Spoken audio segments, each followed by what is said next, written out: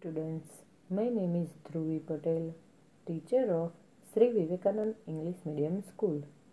Today my subject Gujarati, unit number 11, class 2. Let's start.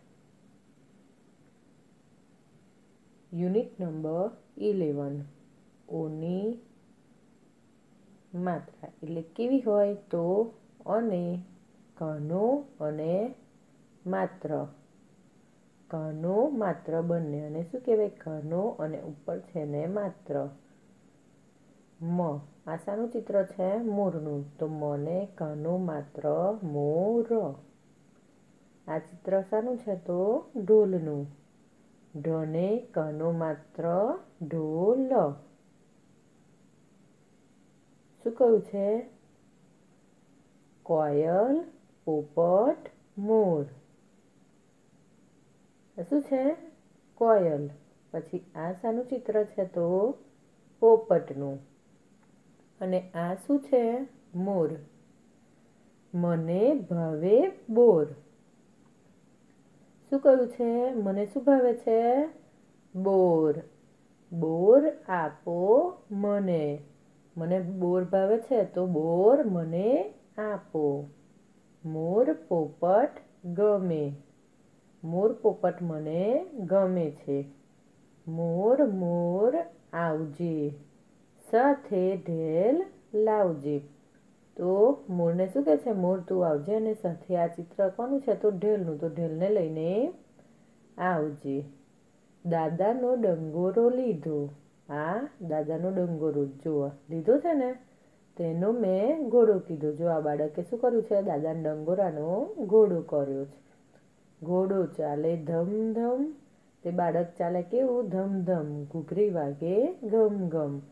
તો ઘોડો મારો કેવો? જોડો ના પહેરે એવો.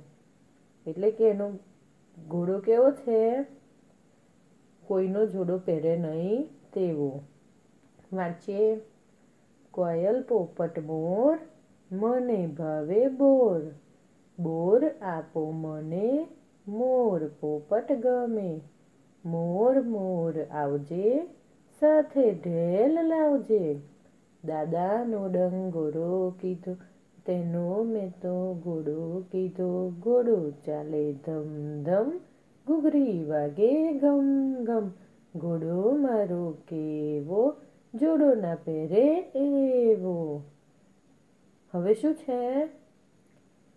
વાંચો અને બોલો. શું છે? દાદાનો ડંગોરો લીધો, ઘોડો કીધો, કેવો મારો, તો જોડો કોયલ, પોપટ, મોર, બોર આપો. હવે શું આપ્યું છે? શબ્દાર્થ. દાદા. દાદાને શું કહેવાય અંગ્રેજીમાં? ગ્રેન્ડફાધર ડંગોરો. ડંગોરાને શું કહેવાય? સ્ટીક લાકડીને પણ સ્ટીક પણ સ્ટીક જ કહેવાય. ઘોડો. ઘોડાને શું કહેવાય? હોર્સ ઘૂઘરીને શું કહેવાય? બેલ. જોડો એટલે શૂઝ કોયલ કોયલને શું કહેવાય? કુક્કુ પોપટને શું કહેવાય? પેરોટ મોરને પીકોક બોર એટલે બેરી. મને એટલે ટુ મી ઢેલ એટલે પીહન અને સાથે એટલે વિથ જોઈ લઈએ એક વખત, ફરી વખત. ગ્રાન્ડફાધર એટલે દાદા સ્ટીક એટલે ડંગોરો હોર્સ એટલે ઘોડો બેલ એટલે ઘૂઘરી શૂઝ એટલે જોડો કુક્કુ એટલે કોયલ પેરોટ એટલે મોર, પોપટ પીકોક એટલે મોર બેરી એટલે બોર ટુમી એટલે મને, પીહન એટલે ઢેલ અને વિથ એટલે કે સાથે, ઓકે? હવે શું આપ્યું છે? મહાવરો. શું કહ્યું છે? નીચેના ચિત્રો ઓળખો, શબ્દો વાંચો અને લખો. આ ચિત્ર શાનું છે તો? હોડીનું. હનેકાનું માત્ર હોડી હોડી. એવી રીતે તમારે વાંચીને લખવાનું છે. પછી આ શાનું ચિત્ર છે તો લોક. લનેકાનું માત્ર લો ક એવી રીતે તમારે અહીંયા સારા અક્ષરે લખવાનું છે. આશાનું ચિત્ર છે તો ટોપીનું.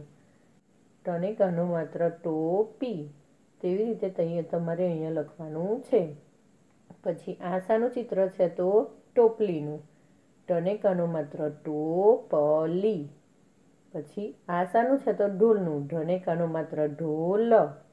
ચોડી તો ચને કાનો માત્ર ચોડી. એ રીતે તમારે લખવાનું છે, બોલી બોલીને. તો ચલો આપણે એક વખત શબ્દો ફરીથી જોઈ લઈએ.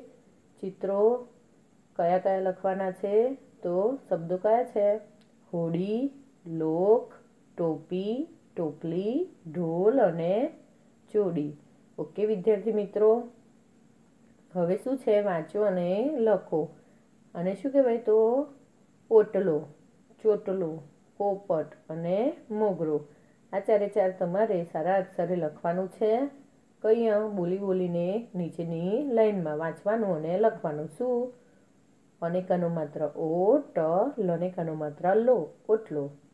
ચનેકાનો માત્ર ચો, ટ લનેકાનો માત્ર લો, ચોટલો. પનેકાનો માત્ર પો, પ, ટ. મનેકાનો માત્ર મો, ગ, ડ્રો. હવે શું કહ્યું છે? કૌંસમાંથી સભ્ય, શબ્દ પસંદ કરી વાક્ય પૂરા કરો. કૂવો, ઘોડો, ગોટલો ચકડોળ ડંગોરો બોર. આ તમને કૌંસમાં આપેલું છે. તો આ શું છે? જવાબ. તો આપણે ખાલી જગ્યા પૂરી કરવાની. દાદાનો ખાલી જગ્યા લીધો. શું લે છે? તો ડંગોરો. તો દાદાનો ડંગોરો લીધો. ખાલી જગ્યામાં શું આવશે? ડંગોરો.